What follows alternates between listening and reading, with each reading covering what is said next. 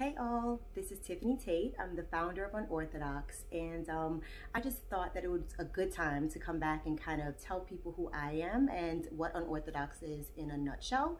Um, I've been getting a ton of phone calls lately uh, because anybody who knows me knows I will answer your questions for free. I will give you the games for free. Anybody can schedule a free consultation on my website. I only charge you to teach you the game. Those are two different things. With that said, people should understand who I am.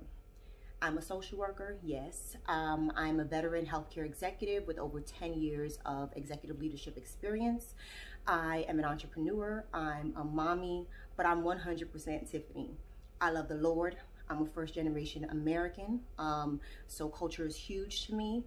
But please understand that I am an administrator and an experienced executive and an entrepreneur.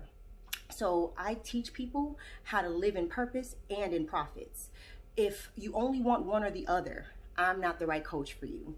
If you only want to live in purpose and you're okay with not building generational wealth, I bless that. I think that is amazing. And I hope that God blesses you on that journey. It's not Tiffany. If you only care to live in profits and you don't care about souls, also, God be with you, not Tiffany, not unorthodox. So I want people to truly understand that unorthodox can get you to that next level will get you to the next level. Um, our proof is in the pudding. We have the receipts, but we are really focused on women who understand their calling and who are ready to own their stuff in their calling and grow that, hustle that, and scale that. Um, we didn't go by making, you know, a multi-million dollar portfolio by just hoping and praying. We put that faith to work. Um, and so what I teach you is how to hustle, how to make that money without money.